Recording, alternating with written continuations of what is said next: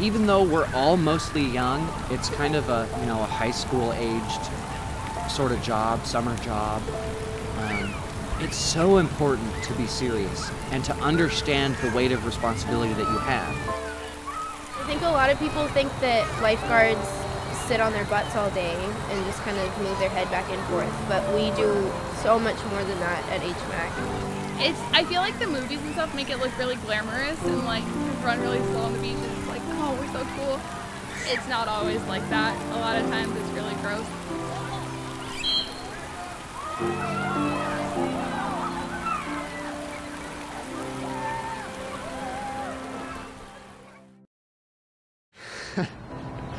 Ninety percent of the time, we're telling people not to do stuff, um, and that's mostly like telling people not to run or to move shallower.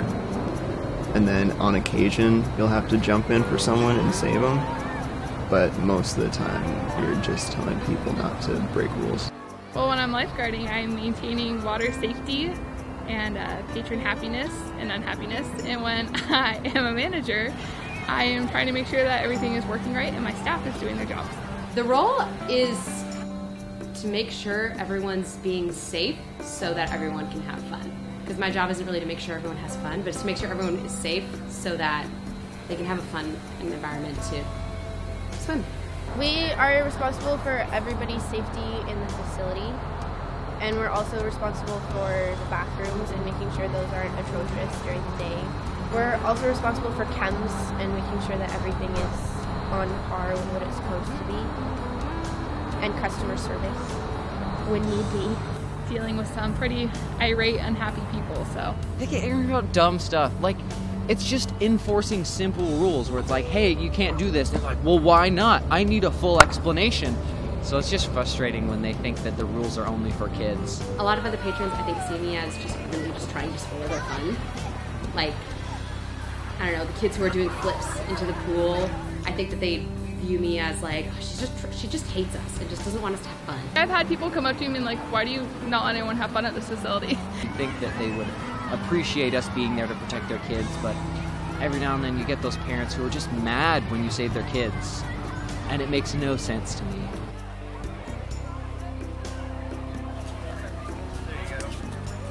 I actually really enjoy the crowds. I love how it keeps your attention watching the pool and it keeps your I don't know, it keeps you on your feet.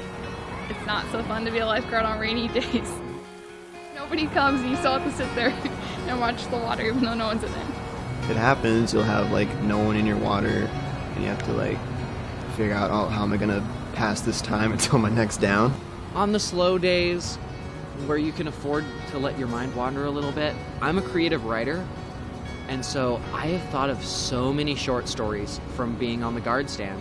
Usually more, where's your parent? Why is your parent not with you? Or little notes about the different patrons in the pool, how well they swim, how not well they swim, if they should have a life jacket on, if they're wearing something that isn't appropriate, isn't proper swimwear, tiny judgmental people watching comments. Sometimes I, I, I'm like, I think about what would happen if, oh, if a person collapsed right now, I would be the one to react. For me, at least, I go through scenarios in my head like, what would I do if this happened? Um, and it's funny how you can train so much for it and still feel so unprepared sometimes. We have to make sure that we are on our games, and we have to make sure that everyone knows how to do the skills and can do them in an emergency. we do a lot of spinals because those are the hardest ones to master. And we do a lot of the worst case scenarios and just so we're ready, God forbid if that ever happened, you would know what to do in that situation. We train so much for it, and is your training really going to pay off? Like in the moment, are you really going to know what to do? Kind of a thing. So it's hard because you can't be tested on that part. It's just, have you trained enough? Do you know it like the back of your hand? When you're trained to make a save, you think about everyone tells you like first you have to check and make sure the area is safe, and you check and see if like are they actually drowning? Do they actually need help? But when it, the time actually came, I didn't run through those steps in my head. I just did it. Honestly, I don't really remember most of the saves because you kind of remember seeing the kid in trouble, and then you kind of remember like, oh, I'm gonna blow my whistle. Your mind turns off, and you just act. usually the action you don't even think about it; it just happens.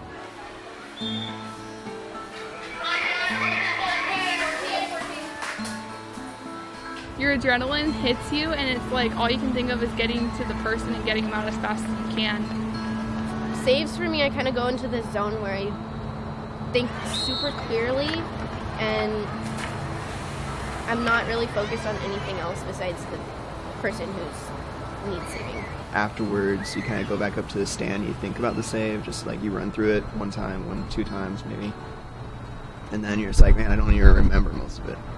After the first white cap save, it just sort of all blurred together. It just seemed really routine getting in after that. It was like anticlimactic, kind of. I feel like that's how a lot of saves here are. It's like all this drama, and it's like, oh, the kid just walked out too far. There's something wrong with them. So. I know, but yeah, it was.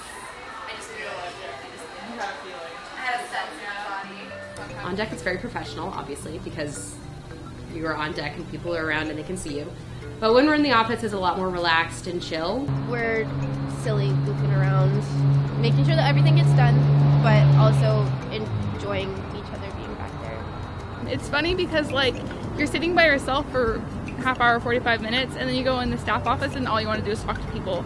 And then by the end, you don't want to talk to anybody anymore. It's usually pretty lively back there. Lots of uh, stories and gossip and celebrating news. It's a cool environment. You know, it's not really stiff and rigid. You know, it's just kind of our job is serious, but we just like to have fun while we're having a job. I really love the people who work here. We have some great people on our staff and lots of uh, different personalities. I absolutely love getting to work with these people. It's the reason that I continue coming back. Um, it's just a wonderful environment. I don't have a specific favorite memory, but I have fond memories of everyone I've worked with. Most of the places I've worked at before, maximum the maximum amount of guards I've worked at worked with is three. So I love having people because usually a lifeguarding was such an isolated job for me, but here where there's you know 15 other people on staff, it's so great. Everyone has each other's backs and you know, cares about each other, and no one brings each other down. And it's just it's just wonderful to be here and uh, you know be around those people.